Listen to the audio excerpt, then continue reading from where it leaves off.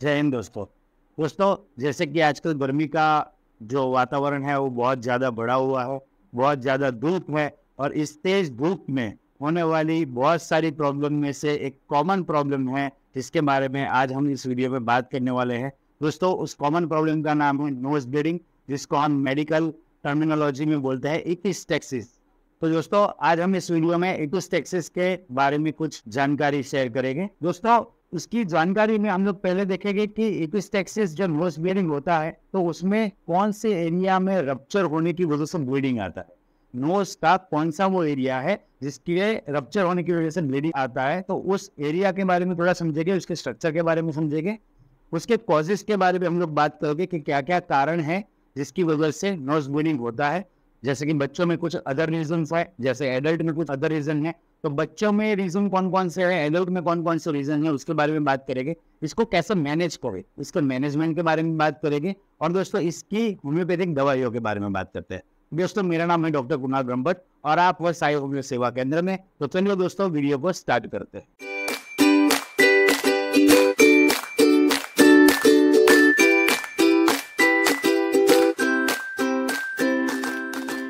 तो चलिए दोस्तों, पहले बात करते हुए हमारे मजल एरिया के बारे में, जहाँ से ब्लीडिंग होने के चांस बहुत ज़्यादा है, वहाँ पे कौन कौन सी आर्टरी ब्लड सप्लाई करती है, जिसके समूह, यानी कि जहाँ पे आर्टरीज की कैपिलरीज इकट्ठा होती है, उस एरिया पे प्रॉब्लम होने की वजह से नोज़ ब्लीड होता है। तो दोस्तों, वो जो एरिया है, इस एरिया को बोला जाता है Kiesselbach plexus Kiesselbach plexus उसका दूसरा नाम है निपल एरिया तो दोस्तों, ये जो लिपल एरिया है, यहाँ पे बहुत सारी छोटी छोटी कैपिलरीज इकट्ठा होती है। पाँच ऐसे मुख्य जो आर्टरीज है, वो यहाँ पे आके अपना इकट्ठा होती है। यहाँ पे इंजरी होने की वजह से दोस्तों, ज़्यादातर नोज़ ब्लीडिंग के केसेस होते हैं। ये नोज़ ब्लीडिंग होने के दोस्तों, बहुत सारे रीजन है। चाइल्ड में इसके काफ़ी रीजन है, जिसकी वजह से चाइल्ड में नोज़ ब्लीडिंग ज़्यादा दिखाई देता है। एडल्ट में भी कुछ कुछ कारण है, जिसकी वजह से नोज़ ब्लीडिंग हमें दिखाई पड़ता है। तो दोस्तों बात करते हैं कौन कौन से कॉज है जिसकी वजह से नोज़ ब्लीडिंग हमें दिखाई पड़ता है। दोस्तों बच्चों में जो नोज़ ब्लीडिंग होता है, उसमें काफ़ी सारे रीजन है, लेकिन इसमें जो कॉमन रीजन है, वो पहला है ड्राई स्किन यानी कि नेजल एरिया के पास जब कोई एलर्जिक कंडीशन हो या ड्राई वेव की वजह से या ऐसे वेदर की वजह से तो बहुत ज़्यादा ड्राइनेस हो जाती है तो उस ड्राइनेस की वजह से वहाँ पे आर्टरीज जो कैपिलरीज है, वो रप्चर हो सकती है अगर बच्चे को रिपीटेडली नोज़ प्रिकिंग की हैबिट है। अगर बच्चा ज़्यादा नोज़ को मतलब नाक तक कुरितने की कोशिश करता है तो उस कुरितने की वजह से कभी कभी उसको, उस कैपिलरीज में इंजरी हो जाती है, जिसकी वजह से नोज़ ब्लीडिंग होता है। इसमें बच्चे के नेल्स का खास ध्यान रखते अगर बहुत बड़े नेल्स है तो ये रिपीटेडली होने के चांस रहते हैं। कैपिलरीज रप्चर हो सकती है ऐसे केसेस में? दोस्तों कभी कभी बच्चों को अपने नोज़ को रब करने की ज़ोर से उसको रबिंग की जो हैबिट होती है, उसकी वजह से भी कभी कभी बच्चों में नोज़ ब्लीड दिखाई पड़ता है। कभी कभी दोस्तों माइल्ड ट्रॉमा खेलते कूदते कभी कभी इंजरी हो जाती है तो ये इतना सेंसिटिव पार्ट होता है कि तुरंत वहाँ से ब्लीडिंग आना स्टार्ट हो जाएगा। गर्मी के मौसम में, हालाँकि अभी जो गर्मी का मौसम चल रहा है, ऐसी ज़्यादा गर्मी का जब मौसम होता है, जब नेट वेव बहुत ज़्यादा होती है तो वैसी गर्मी की वजह से, ज़्यादा नेट की वजह से भी कैपिलरीज डैमेज हो सकती है और जिसकी वजह से ब्लड निकल सकता है।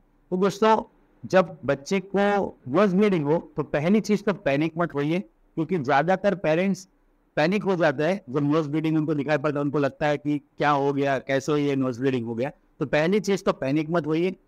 ये कोई बहुत बड़ा मेजर प्रॉब्लम नहीं है। ये कैपिलरी रप्चर होना एक कॉमन प्रॉब्लम है। लेकिन दोस्तों, इसमें आप उसको घर पर भी मैनेज कर सकते हो। तो पहले ट्राई करिए कि आप घर में सबसे पहले पैनिक ना हो और उस ब्लीडिंग को कैसे रोके।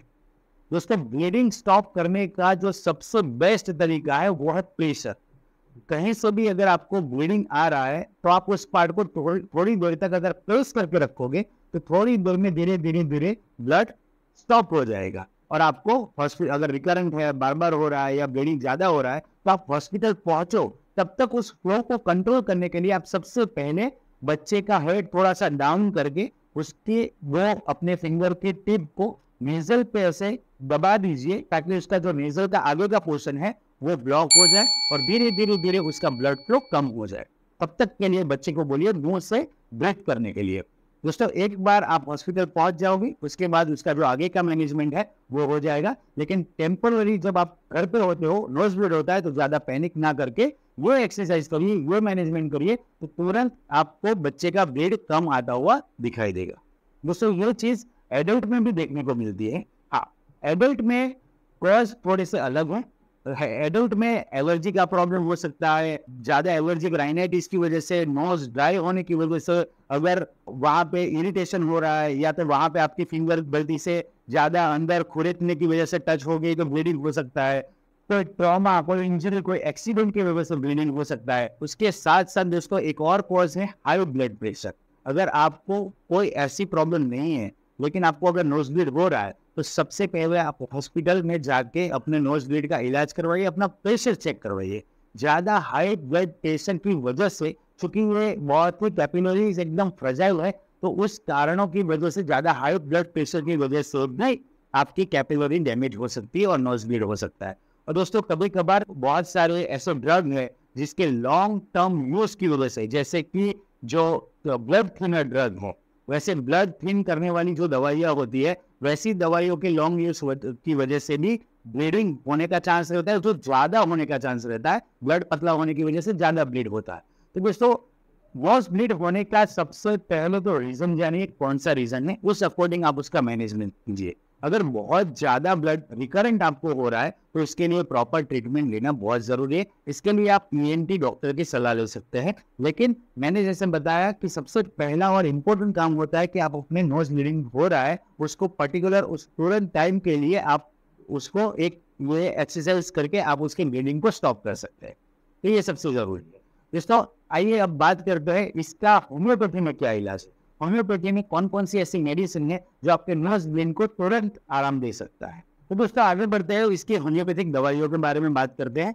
इसकी होम्योपैथिक दवाइयों के बारे में बात करने से पहले मैं आपको नोज़ ब्लीडिंग के सिम्टम्स के बारे में बात करना चाहूँगा। दोस्तों नोज़ ब्लीड एक अपने में एक साइन है, जिसकी वजह से आप हमें पता चलता है कि हमारे ब्लीडिंग हो रहा है नोज़ में से। दोस्तों कभी कभार ब्लीडिंग के साथ साथ क्लॉट यानी कि लोहे के गट्ठे भी ब्लड के गट्ठे भी दिखाई पड़ते हैं क्लॉटिंग भी दिखाई पड़ता है। तो दोस्तों फ्लैट वाला ब्लड हो या फ्रेश ब्लड हो या कभी कभार थोड़ा बहुत पेन भी इसमें कभी कभार दिखाई पड़ता है तो ये सारे जब सिम्टम्स आपको दिखाई पड़े तो कौन कौन सी ऐसी मेडिसिन है जो होम्योपैथी में बहुत अच्छे से काम करती है? दोस्तों, पहली जो दो दवाइयाँ मैं आपको बताने वाला हूँ, वो आपको ब्लीडिंग को कम करने में ब्लीडिंग को तुरंत स्टॉप करने में बहुत अच्छे से काम करेगी, बहुत अच्छा फ़ायदा देगी। दोस्तों, पहली दवाई है हेमामालिस हेमामालिस मदर टिंचर दोस्तों, हेमा मालिश मदर टीचर की पंद्रह बूंद सुबह, पंद्रह बूंद शाम को आधे कप पानी में मिक्स करके आप पीजिए पंद्रह दिन कंटिन्यू इसका प्रयोग कीजिए। पंद्रह दिन के बाद आपको नोज़ ब्लीडिंग का प्रॉब्लम जन्म से ठीक हो जाएगा। देखिए जो आपको प्रॉब्लम हो रहा है, वो नहीं होगा। इसके साथ साथ ब्लीडिंग अगर ज़्यादा हो रहा है तो मैलीफोनियम मदर टिंचर का भी आप इस्तेमाल कर सकते हैं। मैलीफोनियम मदर टिंचर और हेमामलिस मदर टिंचर, इन दोनों मदर टिंचर को पंद्रह पंद्रह बूथ सुबह शाम लीजिए अगर आपको रिपीटेड नोज़ ब्लीडिंग हो रहा है रिपीटेड आपको ब्लड अगर नोज़ में से रिपीटेड ब्लड आ रहा है तो इन दोनों मदर टिंचर का यूज़ करने के बाद आपको ब्लीडिंग काफ़ी हद तक कम हो जाएगा। दोस्तों, अब मैं आपको दो सिम्टोमेटिक मेडिसिन के बारे में बताऊँगा। दोस्तों होम्योपैथी में एक मेडिसिन है फॉस्फोरस अगर दोस्तों आपको नोज़ ब्लीडिंग का प्रॉब्लम ज़्यादातर इवनिंग के टाइम पे, शाम के टाइम पे अगर आपको दिखाई पड़ता है, या आपको लेफ़्ट साइड नोस्टिल्स में, अगर लेफ़्ट साइड में आपको ज़्यादा ब्लीडिंग बार बार आपको ब्लीडिंग हो रहा है और आपने देखा है कि ये लेफ़्ट साइड से ज़्यादा ब्लीड करता है तो दोस्तों इस कंडीशन में और दूसरा, आपको कोल्ड एप्लीकेशन से आराम मिलता है। आप ठंडे में हो या कोल्ड एप्लीकेशन या कुछ ठंडा चीज़ लगाने से आपको आराम मिलता है। तो दोस्तों, इस कंडीशन में फॉस्फोरस थर्टी यूज़ कीजिए। फॉस्फोरस थर्टी की दो गुण सुबह शाम कंटिन्यू पंद्रह दिन लेने से आपको नोज़ ब्लीड में काफ़ी आराम दिखाई पड़ेगा। तो दोस्तों, हमारी दूसरी सिम्टोमेटिक मेडिसिन है नाइट्रिक एसिड अगर दोस्तों आपको नोज़ ब्लीड का प्रॉब्लम रिपीटेडली वेदर चेंज की वजह से गर्मियों में ज़्यादातर बाहर घूमने की वजह से अगर आपको नोज़ ब्लीड हो रहा है रेड फ्रेश ब्लड आपको दिखाई पड़ रहा है तो इस कंडीशन में दोस्तों आप नाइट्रिक एसिड थर्टी का इस्तेमाल कर सकते हैं। नाइट्रिक एसिड थर्टी सुबह शाम दो दो बूंद करके आप कंटिन्यू पंद्रह दिन लीजिए, आपको नाइट्रिक एसिड लेने के बाद काफ़ी हद तक नोज़ ब्लीडिंग में आराम दिखेगा। दोस्तों, इसके साथ एक मैं आपको स्पेसिफिक मेडिसिन बताना चाहूँगा, जो इस गर्मी के वातावरण में जब बहुत ज़्यादा धूप है, बहुत ज़्यादा गर्मी है हीट स्ट्रोक होने का बहुत ज़्यादा चांस होता है हीट स्ट्रोक के साथ साथ नोज़ ब्लीडिंग जब होती है तो इस कंडीशन में दोस्तों, ऐसे वेदर में ग्लोनाइन थर्टी का आप इस्तेमाल कर सकते हैं। ग्लोनाइन थर्टी मेडिसिन आपको वेट से बचाएगी। वेट की वजह से ड्राइव ड्राइव वेट की वजह से जो प्रॉब्लम होते हैं, जिसमें नोज़ ब्लीडिंग भी इंक्लूडेड है तो ऐसी प्रॉब्लम में दोस्तों ग्लोनाइन फोर्टी टू ड्रॉप सुबह शाम कंटिन्यू पंद्रह दिन लेने से आपको गर्मी की वजह से, ज़्यादा गर्मी की वजह से जो प्रॉब्लम्स होते हैं, वो आपको काफ़ी हद तक आराम देगी, काफ़ी हद तक सारे वो प्रॉब्लम को आपके रिजॉल्व कर देगी। तो दोस्तों, वो पाँच होम्योपैथिक दवाइयों का आप यूज़ करके ब्लीडिंग में अपने जो रिपीटेड न्यूज़ ब्लीडिंग हो रहा है, उसमें आप आराम पा सकते हो। इसके साथ साथ दोस्तों, मैंने जैसे मैनेजमेंट बताया कि अगर आपको ब्लीडिंग हो रहा है, उसको जब तक आप हॉस्पिटल नहीं पहुँचते हो या जब तक आप वो और कोई मैनेजमेंट नहीं कर पाते हो, तब तक के लिए आप उसको प्रेशर देके इस एक्टिविटी से भी आप उस अपने नोज़ ब्लीड को कम कर सकते हैं। अगर बच्चे हैं ड्राई नोज़ ज़्यादा रहते हैं नोस्टल को ड्राई रहते हैं तो कोकोनट ऑयल या घी का इस्तेमाल करके आप उसको लगा के उसको मॉइस्ट रख सकते हैं, ताकि उसको पूरे समय की जो बच्चे की आदत है नोज़ स्प्रेकिंग की जो बच्चे की आदत है, उसकी वजह से उसको नोज़ ब्लीड ना हो जाए। उसके अलावा दोस्तों, अगर आपको हाई ब्लड प्रेशर है, जिसकी वजह से आपको नोज़ ब्लीड हो रहा है तो आप अपने हाई ब्लड प्रेशर को तुरंत ही मेडिसिन लेके उसको लेवल में रखिए, ताकि नोज़ ब्लीड जैसे प्रॉब्लम आपको associated problem high blood pressure की वजह से ना हो। दोस्तों, अगर आप कोई ब्लड थिनर मेडिसिन ले रहे हो तो ऐसी मेडिसिन का डोज आप अपने डॉक्टर से जाके सेट करवाइए, ताकि बहुत ज़्यादा ओवरडोज अगर आप ले रहे हो अपने डॉक्टर को बहुत टाइम से नहीं दिखाया है। और ऐसी दवाइयों की वजह से अगर आपकी टेंडेंसी नोज़ ब्लीड की है तो ब्लड पतला होने की वजह से जल्दी ब्लीडिंग स्टॉप नहीं होगा। तो आप अपनी ऐसी दवाइयों को भी डॉक्टर के पास कंसल्ट करके उसको भी अपने अकॉर्डिंग जो डोजेस है, उस हिसाब से लीजिए।